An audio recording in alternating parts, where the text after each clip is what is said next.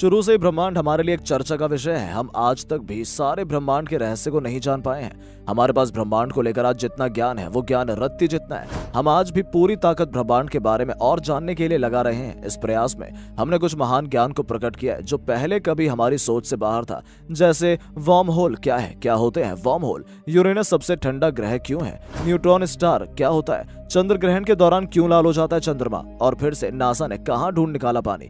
तो आइए ढूंढते हैं इन सवालों के जवाब, लेकिन वीडियो में आगे बढ़ने से पहले अगर आपको वीडियो अच्छी लग रही है तो वीडियो को लाइक और चैनल को सब्सक्राइब ज़रूर कर लें। नंबर एक वॉर्म होल क्या होता है? वॉर्म होल महज सिर्फ़ एक कल्पना है, जिसकी कल्पना 1935 में दो वैज्ञानिकों द्वारा की गई थी। वॉर्म होल सिर्फ़ एक कल्पना नहीं, बल्कि अल्बर्ट आइंस्टीन ने उसे होने का दावा भी किया है। यह सच है कि आज तक हम वॉर्म होल को पाने में सक्षम नहीं हुए जब 19वीं सदी का दौर चल रहा था, तब सभी वैज्ञानिक न्यूटन के बताए गए रास्ते पर चल रहे थे।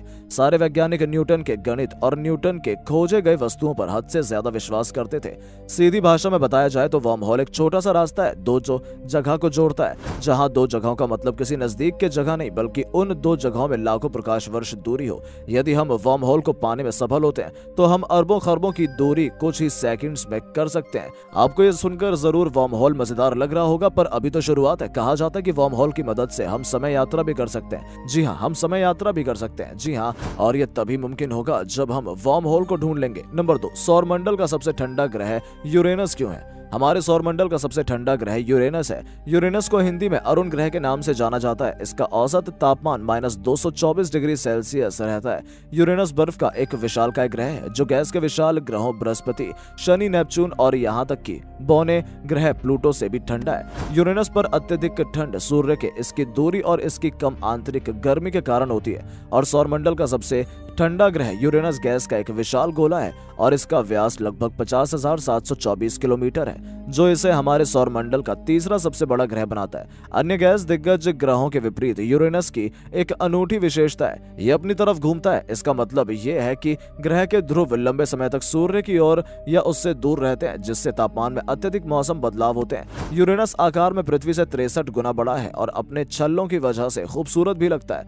पृथ्वी के सूर्य की दूरी लगभग पंद्रह करोड़ किलोमीटर की है, जबकि यूरेनस से सूर्य की दूरी लगभग तीन अरब किलोमीटर है। नंबर तीन, न्यूट्रॉन स्टार क्या होता है? न्यूट्रॉन स्टार किसी तारे की मृत्यु के बाद बने वो पिंड होते हैं जो आकार में तो 15 से 20 किलोमीटर के हैं, पर उनका द्रव्यमान हमारे सूर्य से भी अधिक होता है। इनका निर्माण बहुत ही अधिक दबाव के कारण होता है। ये इतने अधिक संकुचित होते हैं कि इनकी एक चम्मच पदार्थ का भार माउंट एवरेस्ट के भार से भी अधिक होता है। ये एक सेकंड में कई बार घूमते हैं। ये लगभग पूरी तरह न्यूट्रॉन से बने होते हैं। ये अत्यधिक चुंबकीय होते हैं। न्यूट्रॉन तारे किसी मध्यम आकार के तारे के मरने के कारण बनते हैं। इनके अत्यधिक संकुचित घनत्व के कारण प्रोटॉन और इलेक्ट्रॉन मिलकर न्यूट्रॉन में परिवर्तित हो जाते हैं, इसलिए इन्हें न्यूट्रॉन स्टार कहा जाता है, जब किसी भी तारे का वास्तविक वज़न पाँच से आठ गुना तक अधिक होता है तो उसमें सुपरनोवा नामक घटना के कारण बहुत भारी विस्फोट होता है, जिससे उस तारे का बहुत थोड़ा हिस्सा बच जाता है, जिससे इसका घनत्व तथा गुरुत्वाकर्षण बहुत अधिक हो जाता है, और इसी गुरुत्वाकर्षण के कारण प्रोटॉन तथा इलेक्ट्रॉन न्यूट्रॉन में बदल जाते हैं, और जन्म होता है एक न्यूट्रॉन स्टार का। नंबर चार,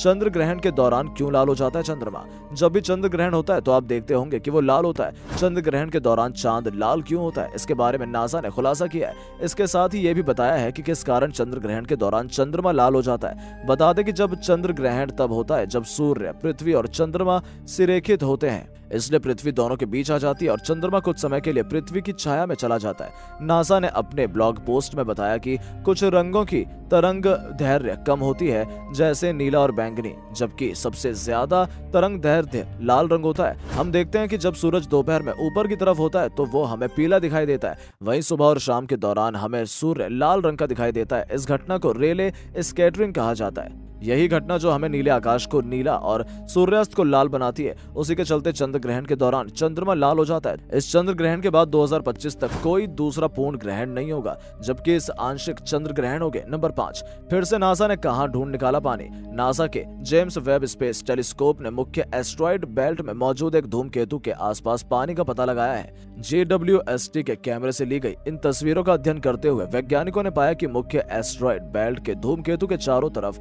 जल जलवाष्प मौजूद है।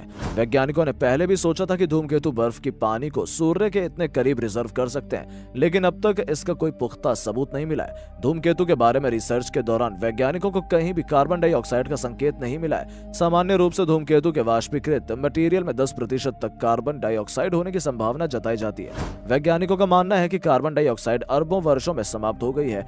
यह सौर मंडल में शुरू से कार्बन डाइऑक्साइड मौजूद नहीं है। बता दें, पिछले हफ़्ते जेडब्ल्यू ने सौर मंडल के बाहर मौजूद एक एस्ट्रॉइड बेल्ट का पता लगाया था। आपको हमारी वीडियो कैसी लगी कॉमेंट करके ज़रूर बताएँ और ऐसी ही रोचक और मज़ेदार वीडियोस के लिए चैनल को सब्सक्राइब करना ना भूलें। धन्यवाद